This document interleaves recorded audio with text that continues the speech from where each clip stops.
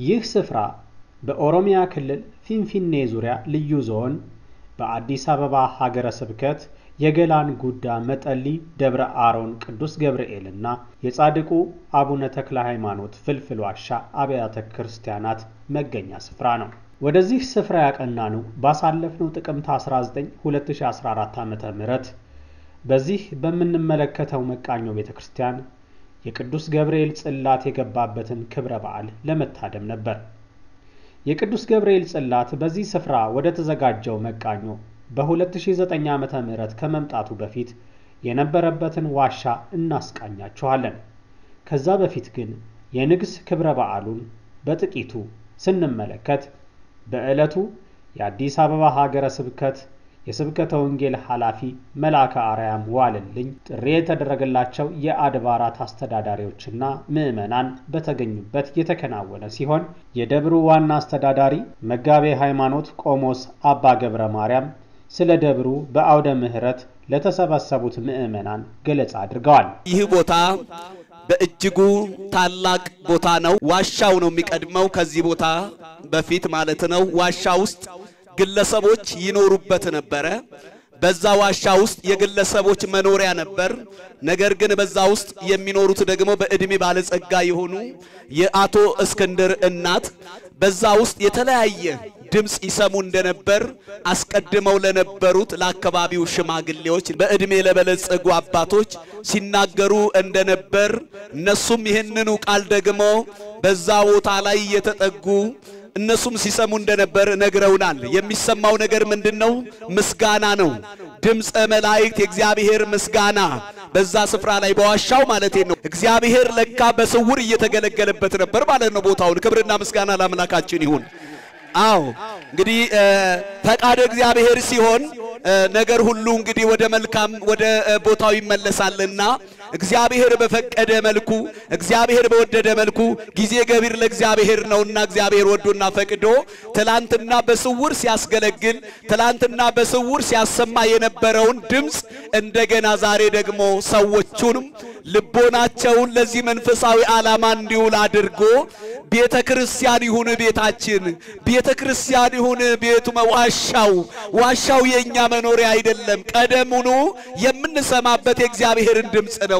ዛሬ ደግሞ በገሃድ ድምፁ ምን ይበልበት ይሰማበት ብለው ያንን ዋሻ አስረክበዋል ለቤተ ክርስቲያን አቶ እስክንድር። ከዛም በመቀጠል ደግሞ ይሄንን ሰፊ መሬት የምታዩትን ከሀያ ሺህ ካሪ በላይ ነው።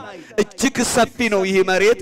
በወቅቱ በነበሩት አስተዳዳሪ መላከ ሕይወት መምህር ቀሲስ ያሬድ በላይነ በእሳቸው አሳሳቢነት በአካባቢው ምዕመናን በጎ አሳቢነት ቅን ልቦና ይህንን መሬት ያለምንም ክፍያ የአካባቢው ምዕመናን ከልጆቻቸው ከዕለት ጉርስ አው ከዓመት ልብስ ነስተው ማን ይመለክበት አሉ?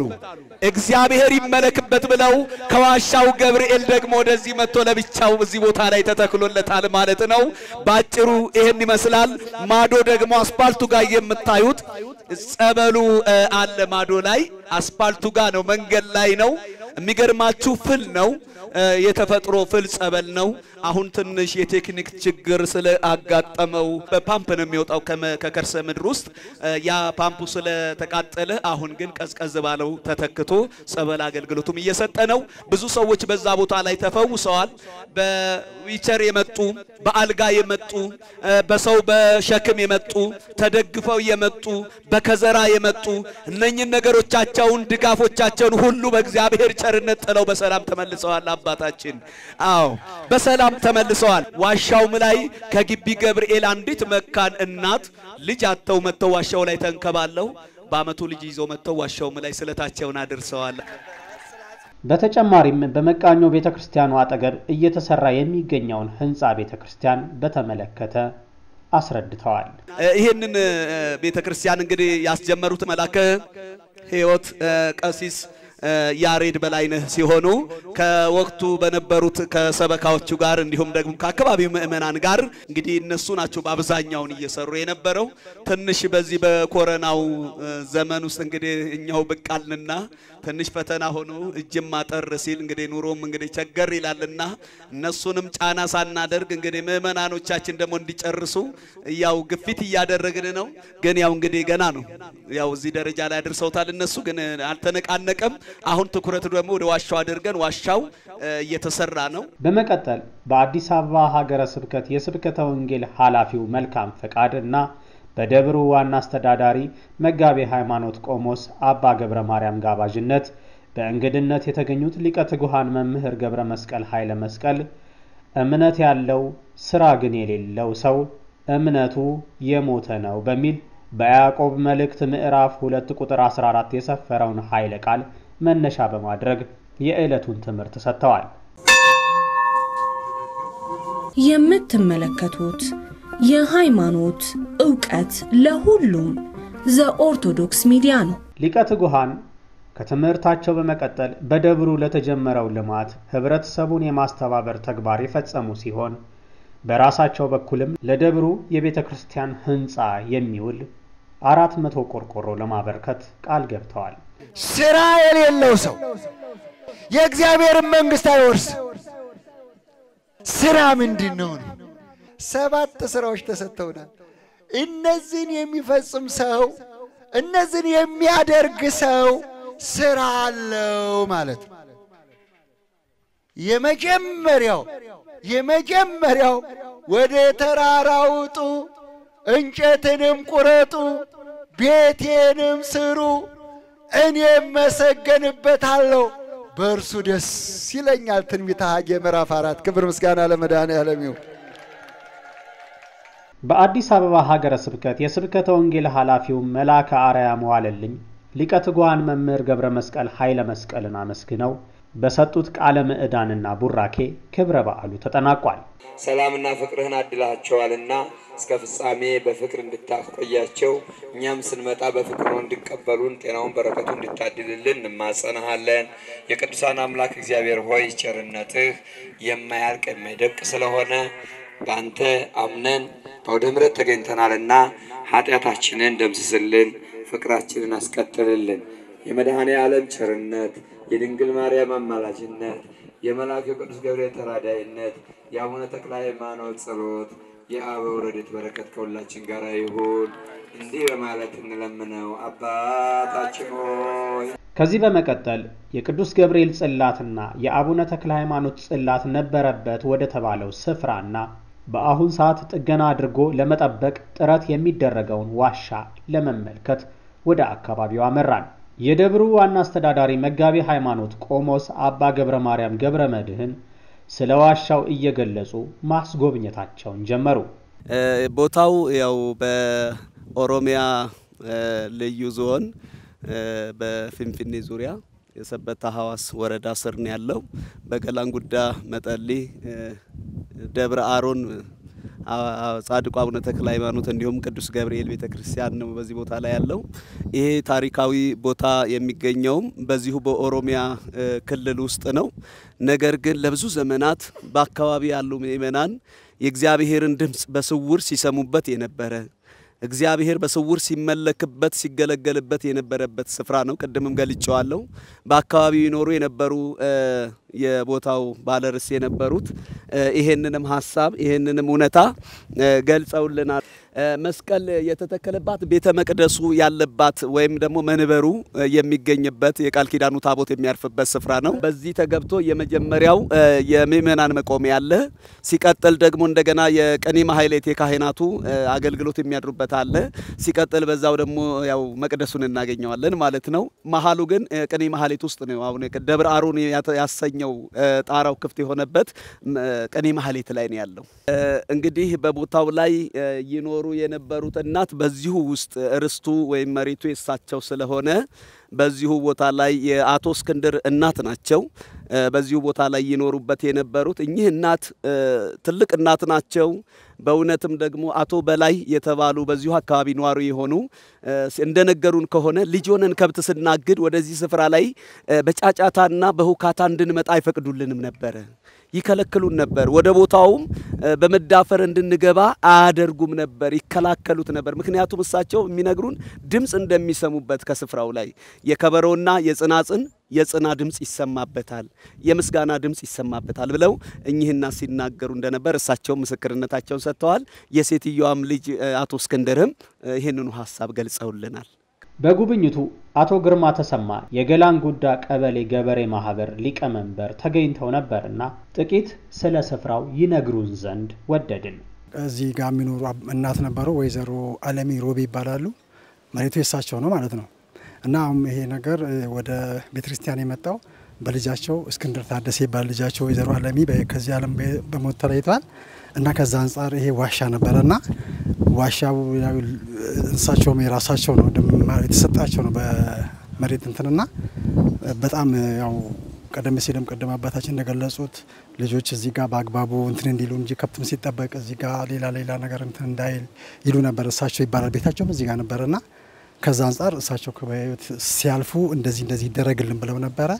በመልክቻ እንትን ሲባል ህብረተሰቡም ቃለ ጉባኤ ተፈርሞ እኛም ከዚህ ያለውን በዛ በወቅቱ እንኳን እኔ እንኳን ባልኖር ያሉት ሊቀመንበሮች ቆይቷልና አሳልፈው ህዝቡም ተፈራርሞ እዚህ ጋር ቤተ ጽላቱ እንዲያርፍ ተደርጓል ማለት ነው። ደብሩ ለሚያስፈልገው ድጋፍ የአካባቢው ቀበሌ መስተዳድር ከጎን መሆኑን የተናገሩት ሊቀመንበሩ አቶ ግርማ ቤተ ክርስቲያኗም መንግስትና የአካባቢው መስተዳድር ለሚፈልጋቸው ተግባራት ሁሉ አጋር ሆና መቆየቷን ተናግረዋል። ቦታው የቱሪዝም መዳረሻ ይሆን ዘንድም የተደረገ ሙከራን ገልጸዋል።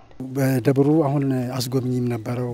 እንግዲህ ገጠር ከመሆኑ አንጻር ገቢ ምንጭም ያስፈልጋል። ምክንያቱም አንድ ችግር ከፍተኛ ችግር የነበረበት መንገድ ነበር፣ ድልድይ የዛሬ ሁለት ሶስት ዓመት ተሰራ። አጋጣሚ አሁን ያያችሁ ድልድይ አሁንም ፈርሷል። ዞሮ ዞሮ ህብረተሰቡ ገበሬ እንደመሆኑ አንጻር ከሌላም እንደዚሁ ድጋፍ ተደርጎ ካልሆነ መንገድ አስፈላጊ ነው። አይታችኋል። አሁን ስትመጡ ችግር አለ ግን ርቀት ባይኖረውም ጥርጊያ እንኳን ቢሰራ ቅርብ ነው፣ ለከተማ ቅርብ ነው። እንደውም ወጣ ብሎ ለማየትና ሁሉ ነገር ለመጎብኘት አስፈላጊና ያው ጥሩ እድገት ላይ መድረስ የሚችል ነው። ነገር ግን ከመንገዱ ጦታ አንጻር ብዙ ማስተዋወቅም ከእጥረት አንጻር ብዙ አላደገም። ግን ከተማ አንጻር ቅርብ ነው።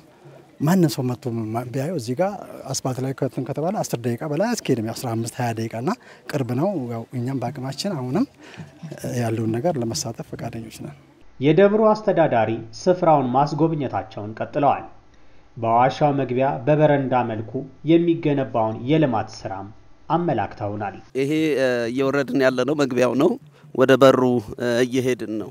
እዚህ ጋ እንደሚታየው አምስት ኮለኖች በወንድማችን ወይም በልጃችን በኢንጂነር ወልደ ሐዋርያት በጎ ሀሳቢና ርቆ ተመልካችነት በበጎ በሙያው እያገለገለን ያለ ልጅ ነው።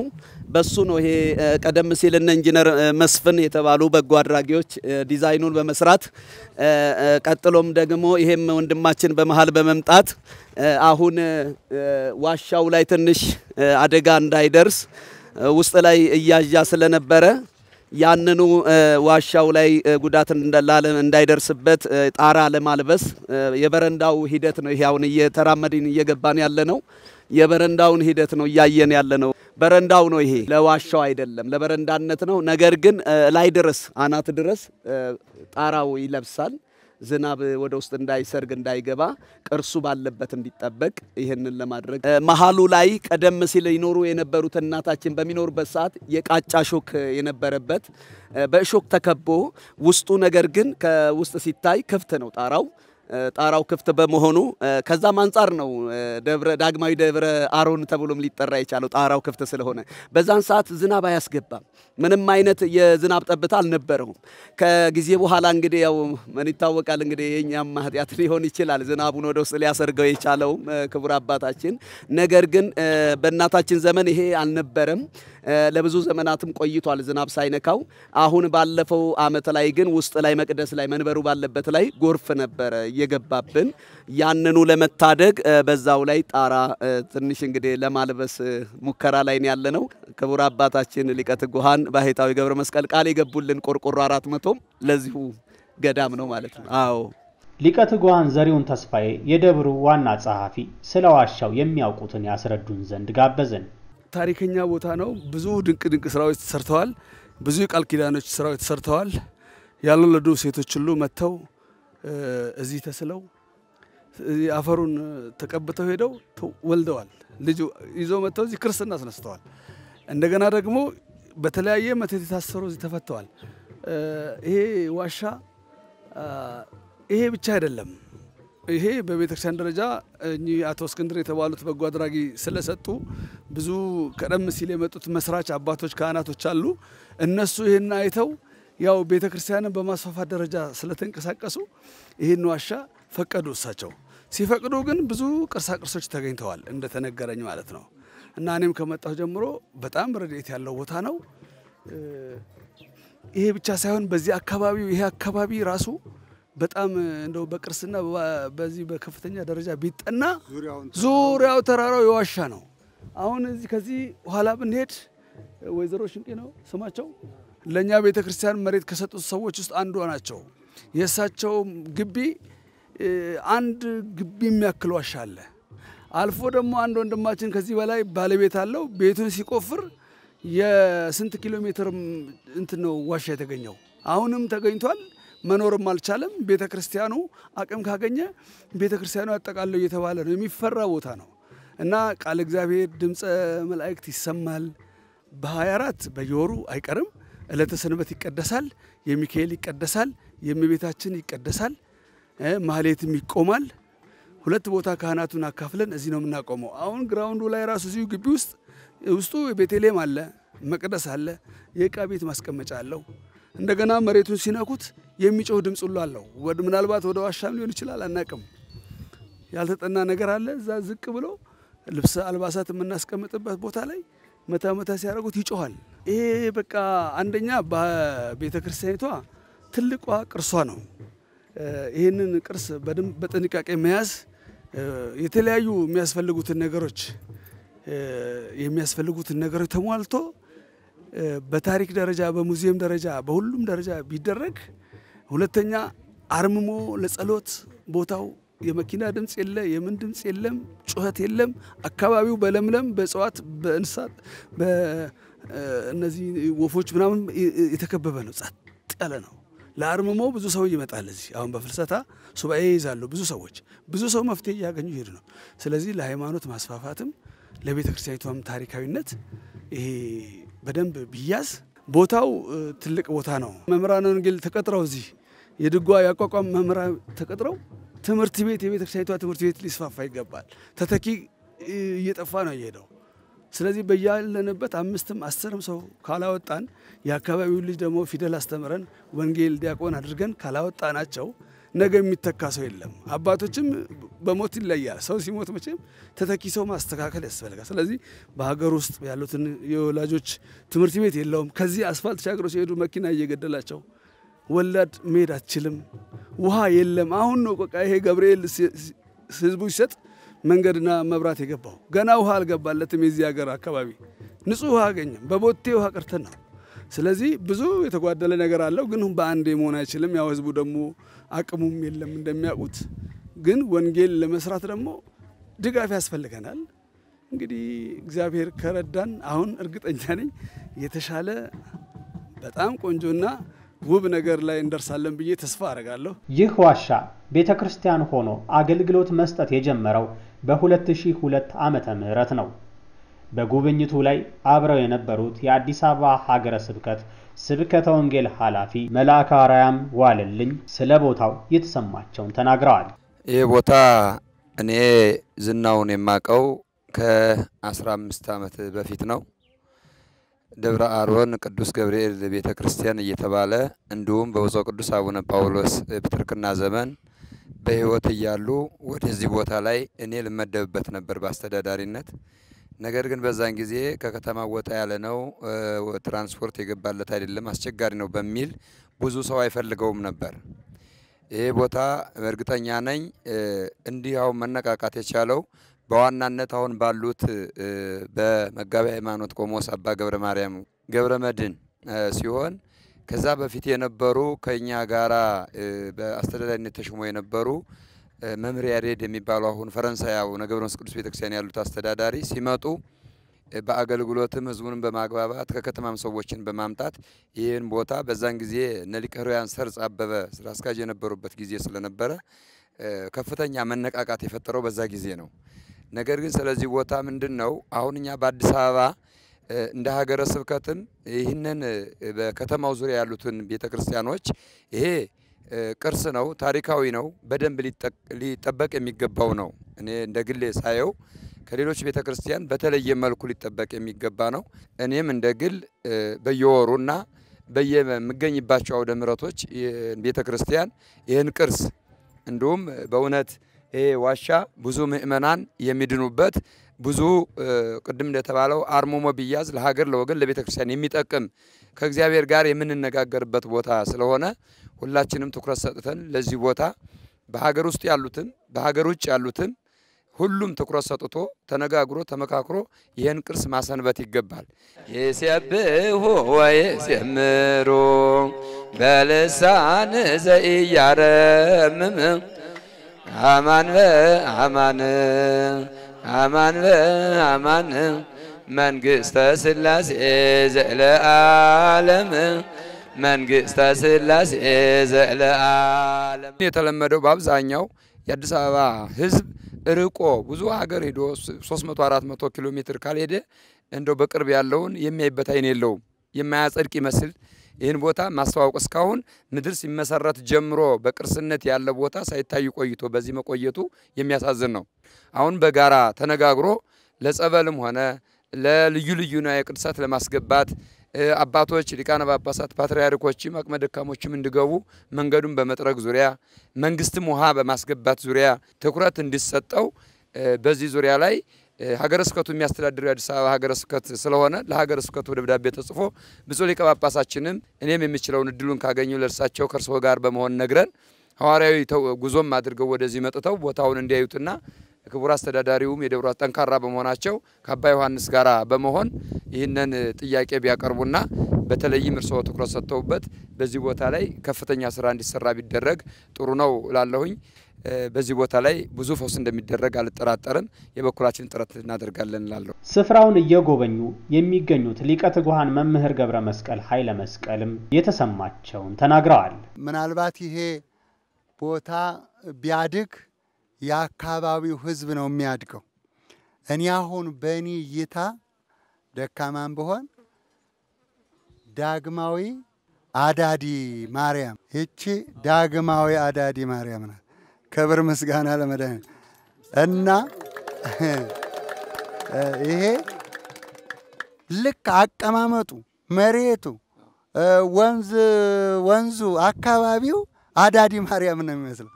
ስለዚህ ዳግማዊ አዳዲ ማርያም ነው። ይሄ ሰዎች ሁሉ መምጣት አለባቸው። ይህን ዳግማዊ አዳዲ ማርያምን መጎብኘት አለባቸው። ይህ ቦታ ካደገና ከተለወጠ ገዳም ቢሆን ተጠቃሚው የዚህ አካባቢ ህብረተሰብ ነው። አሁን ላሊበላ ገዳም ውስጥ አይታረስ አይቆፈርም። ያ ሁሉ ህዝብ የሚኖረው በገዳሙ ወዝና በረከት ነው። ይህም ቢያድግ ደግሞ እርግጠኛ ነኝ የዚህ አካባቢ ህዝብ ያድጋል፣ ይለወጣል። ታሪክ የደብሩ ሰበካ ጉባኤ ምክትል ሊቀመንበርና የሚከናወነውን የዋሻ ጥበቃ የልማት ስራ የሚያከናውነው በጎ ፈቃደኛ መሐንዲስ ኢንጂነር ወልደ ሐዋርያትም የበኩላቸውን ብለውናል። ስሜ ቶማስ ተሰማ እባላለሁ። የዚሁ ደብር ምክትል ሊቀመንበር ነኝ። ሁሉም ነገር አሁን በዚሁ አማካኝነት ነው። አሁን ራሱ የዚህን ያህል መብራቱ ራሱ የመጣው በዚህ ቤተ ክርስቲያን አማካኝነት ነው። አንድ ትራንስፎርመር ቆሞ የዚህ አካባቢ ህብረተሰብ ማብራት ራሱ ያገኘው ማለት ነው። ወደፊትም አሁን ቦታ ለምቶ የተለያዩ ሰዎች አይተውት የወንጌል አገልግሎት ቢሰፋና የአካባቢው ህብረተሰብ ግንዛቤ ቢያገኝ የኔ ነው ይሄ ቅርስ የኔ ብቻ አይደለም የሀገሪቷም የዓለምም ቅርስ ነው። ህብረተሰቡ ገብቶት ይሄ ቅርስ ወደፊት ለትውልድ እንዲሸጋገር ማድረግ ይገባዋል የሚል ሀሳብ አለኝ። የካህናት ደሞዝ መክፈል በማንችልበት ግማሽ እየከፈልን ነው፣ ግማሽ ወደዚህ እያደረግን እየሰራን ያለ ነው ማለት ነው፣ እየተጨናነቅን። ምክንያቱም ይሄ ቅርስ በጠፋ ቁጥር እኛ አሁን እዚህ ቦታ ላይ ያለነው ሰዎች ጣት እየተጠቆመብን ለምን አሰሩትም የሚል ነው። ህብረተሰቡ የወንጌል ግንዛቤ አልገባውም። ወንጌል ያስፈልገዋል። ወንጌል መማር አለበት ህብረተሰቡ። ከዚህ ውጪ ከውጪም ደግሞ አቅም ያላቸው ሰዎች ገንዘብ ያላቸው ይህንን ቅርስ ሊያሸጋግሩ ይገባል ነው የምለው። በተለይ ይሄ መንገድ የተሰራውም ቅዱስ ገብርኤል ማስፋፊያው እዛ ጋር ከገባ በኋላ ነው ድልድዩ ራሱ የተሰራው። አጋጣሚ ሆኖ ተሰራ እንጂ ዘንድሮ አሁን ለጥቂት ነው የተረፈው፣ ሊቆረጥ ነበረ። ይህም አሁን የአካባቢው ህብረተሰብ ሊተባበርና ቶሎ ሊሰራው አይችልም። ምክንያቱም አሁን ደረቅ ነው፣ እንደምንም ብሎ ተንጠላጥሎ ሾልኮም ያልፋል። ግን ያ ክረምት ዞሮ ስለሚመጣ ቤተ ክርስቲያንም በተቻላት ሁኔታ ምእመናኑን ያው orientation ተሰጥቶ ይሄ ድልድይ በአፋጣኝ መንገዱ ቢሰራ ሁሉ ነገር የተሳለጠ ነው እላለሁ። ለዚህ ለዋሻውም ሰው እንደ ልብ መጥቶ ጎብኝቶ የሚያደርገውን ነገር ለማድረግ ይሄ ነው ነው የምለው እኔ በበኩል። አሸዋ ራሱ አሁን በሲኖ ትራክ በዛ ነበር የምናስገባው። በረጅም መንገድ ነው አሁን ሊገባልን የሚችለው ይሄ ድልድይ ስለተቆረጠ ማለት ነው እንጂ አሁን ማቴሪያል ለማስገባት ራሱ በትላልቅ መኪና አይሻገርም በዚህ ጋር ማለት ነው። እና አስቸኳይ የሆነ ጥገና ካልተደረገለት በስተቀረ ውሃው ነው የጎዳው። ውሃው ነው የጎዳው። ስሜ ወልደ ሐዋርያት እባላለሁ። የሙያዬ በሲቪል መሀንዲስ ያው የበጎ አድራጊ ነኝ። እዚህ የመጣሁት በፍቃድ እግዚአብሔር ነው። መጥቼም ያው የልቤ ተፈጽሞልኝ ነው ይህን የምሰራበትን ምክንያት ማለት ቦታው እኔም ከመጣው ብዙ ታምራቶችን አይቻለሁ፣ በእኔም ላይ በስራውም ላይ ማለት ነው። ከዚህ በፊት በአለማዊ በ construction ስራ ብዙ ተሳትፎ ያለው ግን ይሄ ብዙ የሚያስደንቀኝ ነገር አለ። መግለጽ ከምፈልገው ነገር የመጀመሪያው ለዚህ ስራ ሰው አይደለም የሰራው፣ እኛ አይደለንም የሰራነው፣ እግዚአብሔር ነው። ይሄ ከስምንት ቀን ከአስራ አምስት ቀን በማይበልጥ ውስጥ ነው። ከዚህ በታች pad ቁሞ column ቁሞ masonry grade beam ቁፋሮውን ማን እንደሚቆፍረው አናቅም። እንግዲህ አባታችን የታዘቡትም ነገር ይኖራል። ይህን ላደረገ ለእግዚአብሔር ክብር ምስጋና ይግባው ነው የምለው። በመጀመሪያ ይሄ የበረንዳ አካል ነው። ይሄ የበረንዳ አካል ሆኖ ዋሻው ከዚህ በኋላ ነው የምንገባው። ይሄ ትልቅ arc ሆኖ በር አለው ማለት ነው። ታምቡራታ በር አለው። እዚህ ጋር arc አለው። ባለ ሁለት ተከፋች በር ሆኖ ሁሌ ሲገለገሉ አንዱ ይከፈታል። ታቦት ሲወጣ ሁሉም ተከፍቶ ዋናው ወደ ቤተ ክርስቲያኑ የሚያስገባን በር ማለት ነው። ይሄ በረንዳ ነው። arc አላቸው እዚህ ጋር እያንዳንዳቸው arc አላቸው። ከ arc ኡ በላይ የዚህ ፊት ለፊት ስዕል አድኖች parapet ውሃው የሚወርደው ውስጡን ነው። ጣራውን አናየውም። እዚህ ጋር ስብሳቦችና parapet ና ቅርጻ ነው የምናየው። እዚህ ጋር ስዕል አድኖች አሉት። እዚህ እያንዳንዱ እዛም መግቢያችን ላይ ትልቅ ስዕል አድኖ አለ። ዞሮ parapet ነው። ይሄኛው ይሄኛው እስከ ላይ ድረስ በብሎኬት ይዘጋል። ምናልባት እንደ አቅም ደረጃ በቅርጻ ቅርጽ ድንጋዮች ሊሰራ ይችላል። በአምቦ ድንጋም ሆነ እንደ አቅሙ እንደ ቤተ ክርስቲያኑ አቅም እንዳገኘ ነው እንደ እግዚአብሔር ፍቃድ ይሰራል። ከዚህ ጋር ጣራው ተነስቶ እስከ ያቺ ፈራሽ ናት የምታዩት። ያቺ ፈርሳ እንደ አዲስ ነው የምትሰራው። የዚህ ጣራ የመጀመሪያው የሚወድቀው እዛ ላይ የውሃ ልክ ተሰርቶ የመጀመሪያው ጣራ ይወድቃል። ሁለተኛ እንደ አዲስ grade beam ተሰርቶ ስምንት column ኦች በቅለው የመጀመሪያው ጣራ ይበቅልና ከዛ ላይ የሁለተኛው step የቦታው በጣም slope ስላለው በአንድ step እና የምናለብሰው በሁለት ደረጃ ነው። ከመቅደሷ ከጉልላቷ ወደ ላይ ያለውን በአንድ step እናለብስና በጎረንዳዮ በ PVC ተቀብለን ተቀብለን ወደ ጎንና ወደ ጎን እናፈሰዋለን ማለት ነው። የሁለተኛው ደረጃ ወደዚህ ያደርጋል። ጣራው ሶስት ደረጃ አለው ማለት ነው። እንደ አዲስ በቅሎ ማለት መጀመሪያ አንድ step አለው፣ ሶስተኛ ሌላ አለው ማለት ነው። ከወደ ላይ ያለውን እዚህ የሚመጣውን ውሃ ለመጠበቅ የቻልንበት ከወደ ላይ የቦይ ሰርተን ነው ማለት ከላይ የሚመጡ በስከጀርባው እየቆፈረ ነው። አሁንም additionally አስር ቢያጆ ድንጋይ የሚያስፈልገው እዛ ነው። ከወደ ላይም ተገንብቶ ከወደ ላይም ተገንብቶ ውስጡ ሊሾ ሆኖ ላይ የሚመጡትን ውሃዎች ሰብስበው ወደ ጎንና ወደ divert የሚያደርግልን canal እንሰራለን። ይሄ እንዳይጎዳ ውስጡ በሰው ቁመት ከሜትር ከ50 እስከ 2 ሜትር ቆፍረን ውስጡን እንለስነዋለን። ወደዚህ ምንም አይነት ውሃ እንዳይገባ ማለት ነው። ከዛ ግንባታ አንስተን ሙሉ በዚህ ካሬ ልክ ሙሉ ጣራ ይለብሳል ማለት ነው። ምክንያቱም ራሱ ላይ የሚጥለውን በቆርቆሮ እንቀበለዋለን። በጎን ያለውን ደግሞ ዙሪያውን በመገንባት እንዳይገባበት እንከላከላለን ማለት ነው። ወደ ውስጥ የሚገባው ላይ ያሉ ሽንት ቤቶች አሉ፣ ከላይ የሚመጡ ፍሳሾች አሉ ከግለሰብ ቤቶች። ራሱ ላይ የሚጠለው ዝናብ አለ። እነሱን ጎርፎች ያኛው የተገነባው ግንባታ ወደ ጎንና ወደ ጎን ያስተላልፍልናል ማለት ነው። እንደ እግዚአብሔር ፍቃድ ከሞላ ጎደል ይህንን ያሰብ ነው። እንደ እግዚአብሔር ፍቃድ የኔ ፍቃድ ሙሉ በሙሉ የኔ ከኔ ስራ ወደ ጎን ትቼ ይህንን ጨርሼ የኔን ስራ ደግሞ እግዚአብሔር ይፈጽመውና ጨርሼ አስረክቤ ለመሄድ ነው ያለኝ ሀሳብ ማለት ነው። ለወንድሞች ለእህቶች ማስተላለፍ የምፈልገው ነገር በዚህ ዘመን እኛ ወጣቶች ወደዚህ ወደ በረከት ስራ ብንሳተፍ፣ እኛ የእግዚአብሔርን ቤት ብንሰራ የእኛን ቤት እግዚአብሔር ይሰራል የሚለውን መልእክት ማስተላለፍ ፈልጋለሁ። እንግዲህ ሁሉም ምስክርነት የሰጡትን ሰምታችኋል። በመላው ዓለም ሆናችሁ ይህንን መልእክት የምታዳምጡና የምታዩ የምናሳያችሁ የበረከት ቦታ ነው። ይህ ትልቅ የበረከት ቦታ ነው። አሁን የቆምንበት የበረከት ቦታ ነው። በእግዚአብሔር ፈቃድና ቸርነት ይሄ ቅርስ እንዲጠበቅ እነኚህ በአዲስ ፕላን ነው እንግዲህ እንትኖቹ የቆሙት። ዋሻው ምንም የሚነካ ነገር የለውም። ከዋሻው ምንም የሚቆፈርም ወይም የሚወጣም ነገር የለውም። እንደምታዩት እሱ ሙሉን እንደምታዩት ነው። ስለዚህ ምንም የሚነካ ነገር የለውም። ግን ይሄ ቅርስ በውሃ በጎርፍ በደለል በመሳሰለ ነገር እንዳይጠፋ ለማድረግ ነው ይሄ ነገር ሊሰራ የሚችለው። ሌላው አባታችን ሀገረ ስብከቱም እንዲፈቅድ ጥያቄውን ብታቀርቡ እንደኒ እንደኒ አቡነ ተክለ ሃይማኖትና ቅዱስ ገብርኤል እዛው ባለበት አዲሱ ቤተ ክርስቲያን ተጠናቆ እንዲገባ እዚህ ውስጥ እዚህ ዋሻ ውስጥ ደግሞ እናታችን ቅድስት ክርስቶስ ሰምራና ቅዱስ ሩፋኤል እንዲገቡ ነው የኔ ራእይ።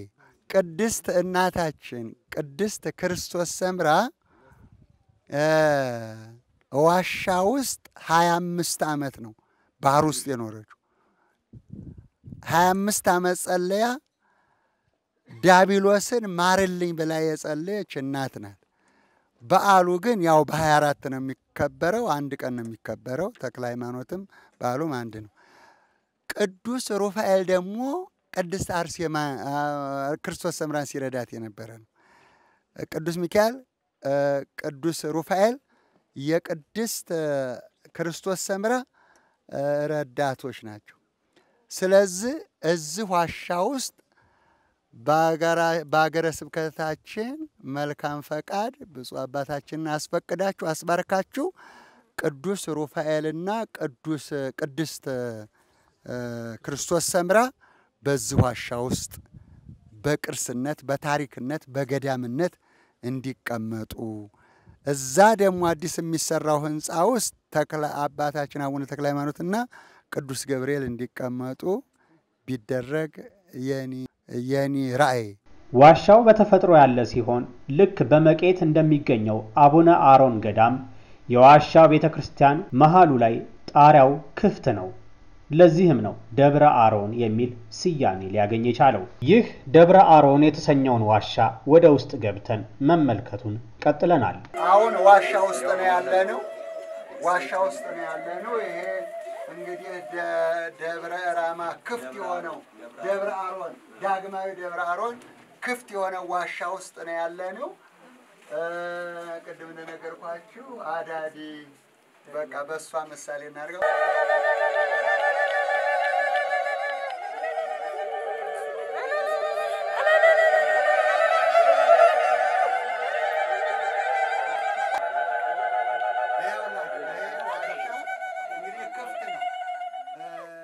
ደብረ አሮንን የምታውቁ ሰዎች ጣራው ክፍት ነው።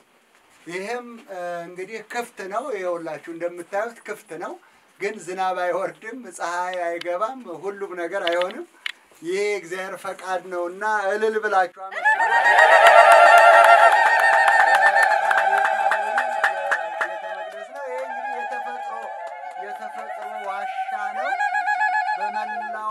ይህን የምትመለከቱ እንግዲህ በረከቱ በያላችሁበት ይድረሳችሁ።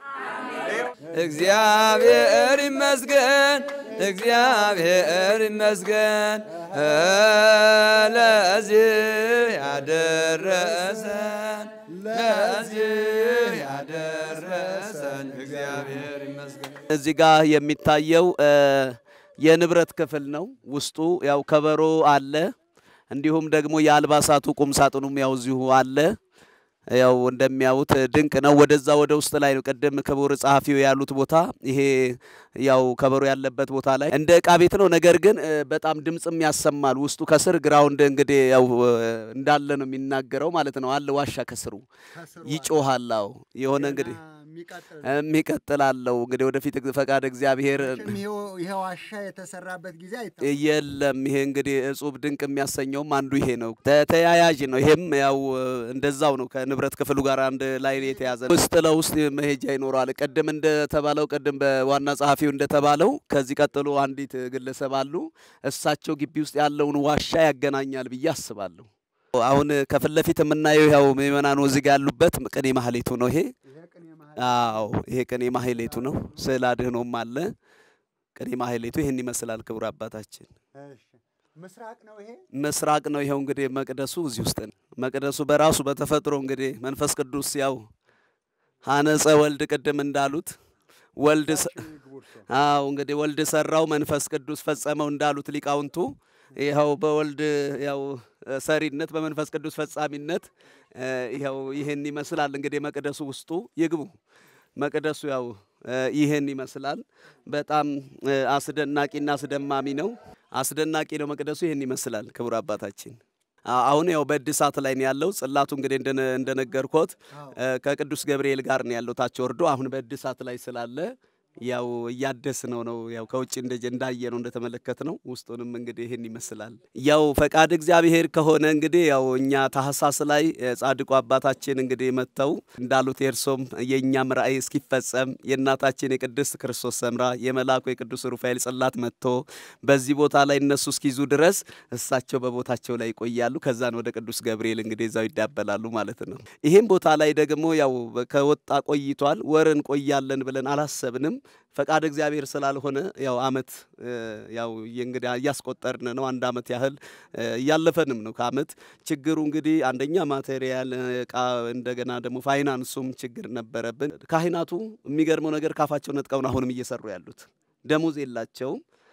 እንግዲህ በዚህ ቦታ ላይ ያው ብሔረ መላእክት ብንለው ይሻላል። የጸሎት ቦታ ነው እንጂ በምግብ የሚኖርበት ቦታ አይደለም። ክቡር አባታችን ካህናቱም በጾም በጸሎት ተጸምዶ ያሉ ናቸው።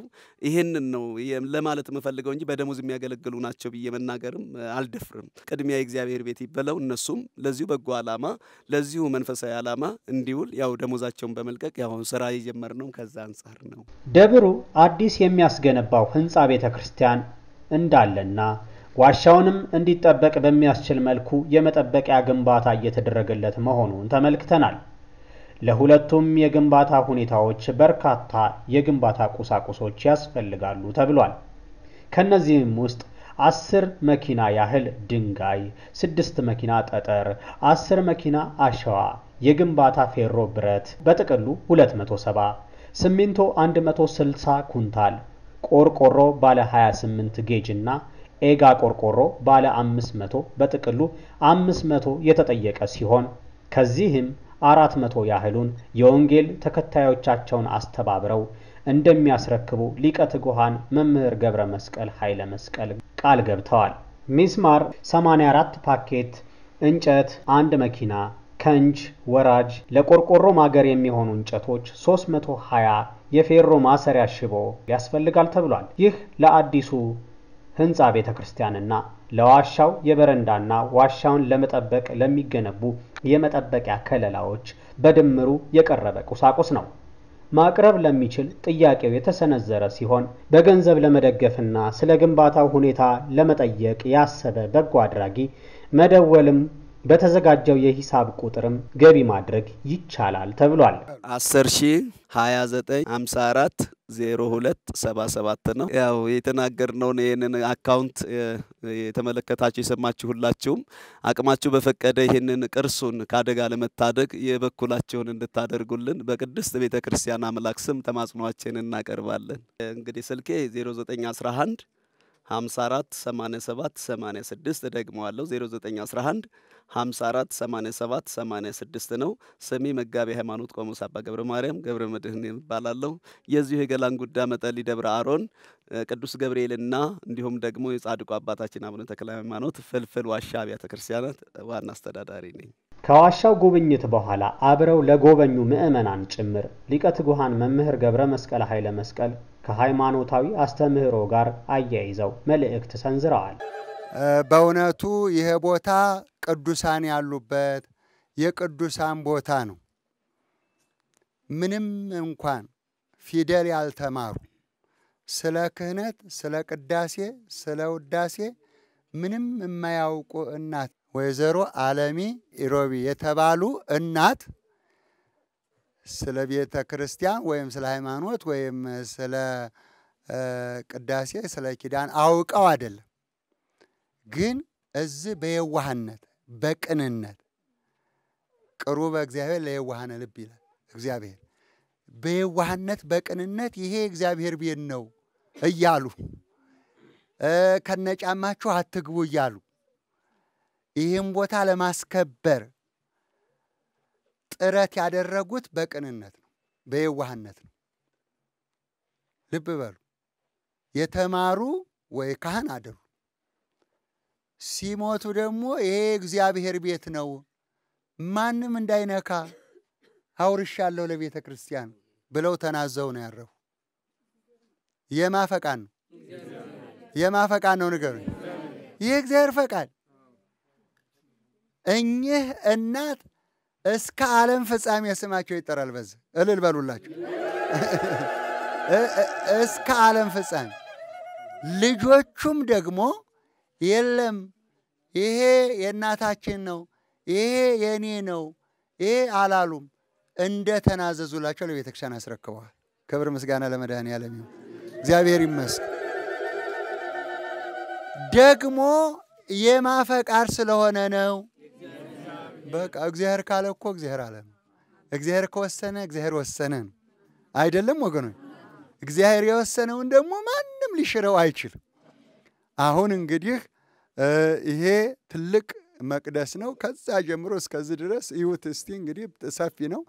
ደግሞ ይሄ እንግዲህ ተስተካክሎ ወደ ምስራቅ ይኸውላችሁ ተስተካክሎ መንበሩ ያለበት ቅኔ ማህሌቱ፣ ዕቃ ቤቱ ሁሉ እና ደግሞ የሚገርመው ይሄ እንግዲህ ክፍት መሆኑ ነው። ከላይ ክፍት መሆኑ ነው። እንዴት ይሄ ክፍት ጣራ እስካሁን ድረስ ደለል አልሞላውም? እንዴት አላጠፋውም? እንዴት ቤቱ አልጠፋም? መያዘው ደብረ አሮን እኮ እስካሁን ክፍት ነው፣ ምንም የለውም። ይኸውላችሁ ዝናብ ግን አይዘንብም፣ አቧራ አይገባም። እና አሁን እንግዲህ ይሄ በአዲስ አበባ የቅርብ ሩቅ ነው። የአዲስ አበባ የቅርብ ሩቅ አዲስ አበባ አፍንጫ ላይ ያለ ታሪክ እዚህ ጋ ያለው ነገር አልተጠቀምንበትም። ሰዎች መጥተው ይሄንን መጠቀም አለባቸው፣ ማየት አለባቸው። ሌላው በውጭ ሀገርም ሆነ በየትም ሆናችሁ መቼም መታደግ ነው። አሁን ጥሪው መታደግ ነው። እንዳይፈርስ፣ ውሃ እንዳይገባበት፣ ደለል እንዳያበላሸው ይሄ መታደግ እናቶቻችን አባቶቻችን በቃ በእግዚአብሔር የእግዚአብሔርን ድምፅ እየሰሙ ይህንን ጠብቀው አኖሩ። በእኛ ዘመን ቢፈርስ ወቀሳው ከሰሳው ከእግዚአብሔር ነው። እንወቀሳለን፣ እንከሰሳለን። አዎ ሰምታችኋል፣ አይታችኋል ብሏል እግዚአብሔር። ታዩታላችሁ በመላው ዓለም። ስለዚህ አይታችሁ ወደዚህ ሀገር ወደ አዲስ አበባ ሀገራችሁ ስትመጡ ይሄ ቦታ የት ነው ብላችሁ መታችሁ እንድታዩት ሁለተኛ እዛው ሆናችሁ ደግሞ አስቸኳይ አስቸኳይ ለዚህ ትንሽ ገንዘብ ነው የሚያስፈልገው፣ ብዙ አይደለም፣ ትንሽ ገንዘብ ነው የሚያስፈልገው። እኔ እኔ ብላችሁ የዚህ በረከት ተሳታፊ እንድትሆኑና በአስቸኳይ እኔ በአንድ ወር በሁለት ወር ውስጥ ማለቅ አለበት። ለጌታ ልደት እዚህ ውስጥ ቤዛ ኩሉ ዓለም እንለዋለን። በዚሁ እንግዲህ ልጨርስ። መልእክቴን አዳምጡኝ፣ መልእክቴን ስሙኝ። መታችሁ እዩት። ለአባታችሁም ደውሉ፣ ለእኔም ደውሉ። 09 09 ሁለት ጊዜ ማለት ነው 60 41 አምሳ ሁለት ነው። ዋጋ የሚከፍለው እግዚአብሔር ቢሆንም ግን ስማችሁን ጠርተን አመስግነን ይህን አድርጋችሁልናል እግዜር ይስጥልን ብለን መልስ እንሰጣችኋለን። እስከ ዛሬ ድረስ አንድ ሺ አርባ ሰባት ቤተ ክርስቲያን ሰርታችኋል። አሁን ደግሞ ስልሳ ሰባት ቤተ ክርስቲያን እየሰራችሁ ነው ያላችሁት። መቶ ሀያ አረጋውያን እየጦራችሁ ነው ያላችሁት። ገዳማትና የገጠር ቤተ ክርስቲያን እየሰራችሁ ነው ያላችሁት። ስለዚህ አንዷ ደግሞ ይች እንድትሆን እኔ አሁን ቅድስት ክርስቶስ ሰምራና ቅዱስ ሩፋኤል በዚህ አንደኛው ገዳሜ በቀጨኔ ምዕራፈ ቅዱሳን ሰገነት ቅድስት ኪዳነ ምሕረት እና አቡነ ዜና ማርቆስ አንድነት ገዳም ሲሆን ሁለተኛው ገዳሜ ደግሞ ይህ ደብረ አሮን ቅድስት ክርስቶስ ሰምራ አቡነ ተክለ ሃይማኖት ይሆናሉ። ሁለተኛው ገዳማችን ይሄ ይሆናል። ክብር ምስጋና ለመድኃኔዓለም ይሁን። ጉብኝታችንም በዚሁ ተጠናቋል። በዚህ ዕለት ጊዜያቸውን መስዋዕት አድርገው በዚህ የተገኙት ክቡር ሊቀ ትጉሃን መምህር ገብረ መስቀልን በቤተ ክርስቲያናችን ስም ላቅ ያለ ምስጋናችንን እናቀርባለን። የደብሩ ሰበካ ጉባኤ አባላት፣ የአስተዳደር ሰራተኞች የደብሮ አስተዳዳሪ ከአስተዳደር ሰራተኞችና ሰበካ ጉባኤ አባላት ጋር በመሆን ከፍተኛ አድናቆታቸውና ምስጋና አቅርበዋል። ሚዲያ የምትከታተሉ ሁሉ ይህ ቤተ ክርስቲያን ለአዲስ አበባ ሀገረ ስብከት ወይም ለከተማው ቅርብ ሆኖ ሳለ ራቅ ያለ መስሎ የሚታያችሁ ቅርብ መሆኑን ተረድታችሁ እዚሁ ገላን አካባቢ ኮንዶሚኒየም ገባ ስትሉ ወደ ቀኝ በኩል ቅርብ ስለሆነ ሁላችሁም መጥታችሁ በረከት ማግኘት የበኩላችሁን አስተዋጽኦ እንድታደርጉ እያሳሰብን ታህሳስ ገብርኤል በ19 ታህሳስ 24 ቀን ሁለቱም አበይት በዓላት በዚሁ ቦታ ስለሚከብር ንግስ ስለሆነ ሁሉም ወደዚህ እንዲመጣ ጉዞ እያደረገ ማህበረ ቅዱሳን ልዩ ልዩ የከተማችን ወጣቶችና የቤተ ክርስቲያን ኃላፊዎች እንዲሁም ካህናት፣ ምእመናን ወምእመናት የሚቻለውን ሁሉ አስተዋጽኦ በማድረግ በዚሁ ቤተ ክርስቲያን በመጠለይ ደብረ አሮን ቅዱስ ገብርኤልና አቡነ ተክለ ሃይማኖት ቤተ ክርስቲያን ታህሳስ 24 ቀን እና ታህሳስ 19 ቀን ተገኝታችሁ በዓሉ እንድታከብሩ መንፈሳዊ ጥሪያችንን እናቀርባለን። እግዚአብሔር አምላካችን ሀገራችን ኢትዮጵያን ይጠብቅልን፣ ክፉ ሀሳብ ያላቸውን ሰዎች ያስታግስልን። እስካሁን ያው በዚህ ቤተ ክርስቲያን ከመጡ ጀምሮ የካህናትን ኑሮ ለማሻሻልና ገዳሙ ከገዳሙ ውጭ ከሌሎች አድባራት ጋር እኩል እንዲሰለፍ በማድረግ ረገድ ከወንድማቸው ከአባታቸው ወይም ደግሞ ከደብሩ አስተዳዳሪ ጋር በመሆን ከፍተኛ ጥረት እያደረጉ ያሉ ታላቁ የቤተ ክርስቲያን ጸጋ የበዛላቸው መጋቤ ሀብታት አባ ዮሐንስ በዚሁ ቤተ ክርስቲያን ስብከተ ወንጌል ኃላፊ ሆነው ይገኛሉና አጠር ያለ መልእክት እንዲያስተላልፉ በቤተ ክርስቲያናችን ስም እንጋብዛለን።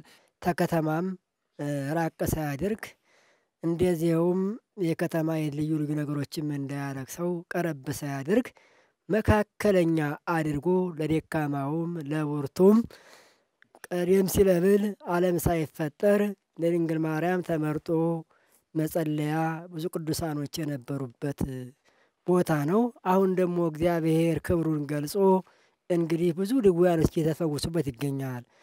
በተለይ እዚህ ቦታ ላይ በጸበሉም ጸበሉን ፍል ጸበል በመሆኑ ተገድፎ የመጣ ሰው በምርኩዝ የመጣ ሰው መጨረሻ ላይ እንደውም ማለት ነው መገደፍ ሲያቅተን ጋሪ ተከራይተን ነው የመጣ ነው ከቦታ ወደዚህ ማለት ነው እና ከዚህ ቦታ ላይ መጥቶ ትልቅ ድንጋይ አንስቶ ቆፍሮ ሲሄድ እንኳን ጋር የቀርቶ መጨረሻ ላይ እኛም ልንደርስበትም አልቻልንም።